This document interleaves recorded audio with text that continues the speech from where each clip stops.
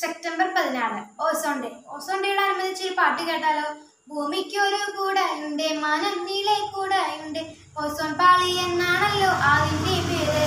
സൂര്യൻ തരം വെളിച്ചത്തെ ജീവന്റെ തുടിപ്പിനായി ശുദ്ധമാക്കി തീർത്തിയിടുന്ന മാന്ത്രിക കൂട. കേവലം കൂടായല്ലേത് ഭൂമിയെ സംരക്ഷിക്കുന്ന ജീവന്റെ പുതപ്പാണെന്ന കാര്യം ഓർക്കണം മനുഷ്യന്റെ ചെയ്തികളാൽ ഓസോൺ സുശീലവും വന്നു. ഭൂമി ചുട്ടു കൊള്ളിടുന്നു ജീവിതം ക്ലേശം ഭാവി തലമുറ നമ്മൾ എന്തിനി വൈകിക്കുന്നു ഓസോൺ സംരക്ഷണത്തിനായി ഒന്നിച്ചിറങ്ങാം നമ്മൾ ഒന്നിച്ചിറങ്ങാം Do you know what is an ozone layer? Why do we celebrate Ozone Day? Let's hear it from Josna Joshi. Speak a few words about ozone layer and the importance of celebrating ozone day. What is an ozone layer? The word is not familiar to most of us. The ozone layer or the ozone umbrella is the regi- region of the Earth's stratosphere that absorbs most of the sun's ultraviolet rays. It is highly concentrated by ozone molecules. The United Nations General Assembly decided September 16 as International Day of Preservation of Ozone Layer. The day is celebrated to, to, to spread the awareness to ozone depletion. Ozone depletion is caused by the CFCs and other pollution causing gases. If the ozone layer is depleted, it may cause the UV rays to reach the earth causing skin cancer, skin burns, blindness, etc. Ozone layer can be saved by minimizing the use of cars and products which release CFCs like ACs and fridge so it is our duty to protect the ozone layer. For this we should plant more plants to save our mother nature and the ozone layer. Thank you. സൂര്യന്റെ ultraviolet കിരണങ്ങളിൽ നിന്ന് നമ്മുടെ ഭൂമിയെ സംരക്ഷിക്കുന്ന ozone കുടിയെക്കുറിച്ച് ഒരു കവിതയായാലോ? ഇതാ ഒരു ozone കവിതയുമായി നമ്മുടെ കൊച്ചു കൂട്ടുകാർ. ഭൂമിക്കുണ്ടൊരു നല്ല കുട ആകാശത്തൊരു നല്ല കുട പ്രാണൻ കാക്കും നല്ല കുട ഓസോൺ എന്നൊരു നല്ല കുട. മാരകമാകും രശ്മികളെ ഭൂമിയിലേക്കു കടക്കാതെ കാത്തിയിടുന്നൊരു നല്ല കുടം. കാട്ടും ക്രൂരതയിൽ ഓസോൺ പാളി നശിക്കുന്നു. ഓസോൺ കുടയെ കാത്തില്ലെങ്കിൽ ജീവനു ഭീഷണിയോർത്തോളും ചീരാം ചെങ്ങാതികളെ ഒത്തൊരുമിച്ചു പ്രവർത്തിക്കാം. നമ്മുടെ ഭൂമിയെ സംരക്ഷിക്കാം. നല്ലൊരു കുടയെ രക്ഷിക്കാം. നല്ലൊരു കുടയെ രക്ഷിക്കാം.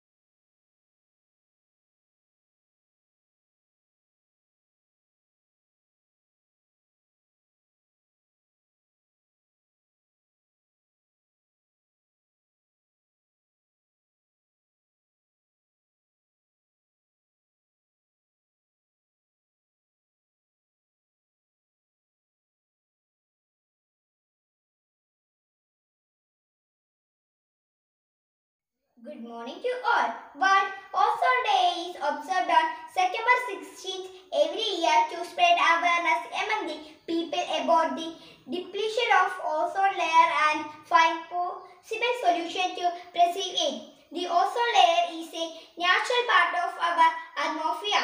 It acts like a protective sunscreen. Some chemicals can damage the ozone layer. Holes in ozone layer are caused by pollution. So we should plant plant more trees to protect it.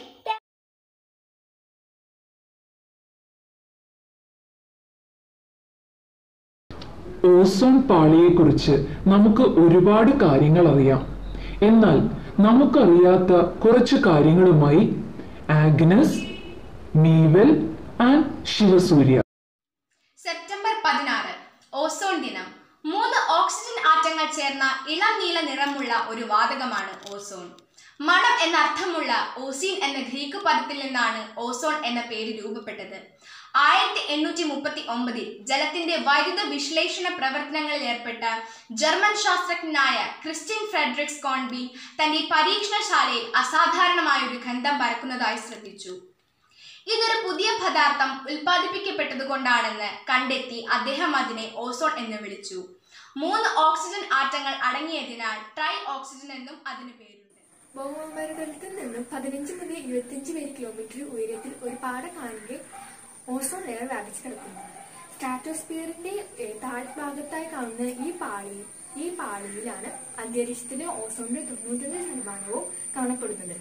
ഒരു കുട മഴയിൽ നിന്നും വെയിലിൽ നിന്നും നമുക്ക് സംരക്ഷണം തരുന്ന പോലെ ഓസോൺ പാളി സൂര്യനിൽ നിന്നും വരുന്ന മാരകമായ അൾട്രാ വയലറ്റ് രശ്മികളിൽ നിന്നും നമുക്ക് സംരക്ഷണം നൽകുന്നു.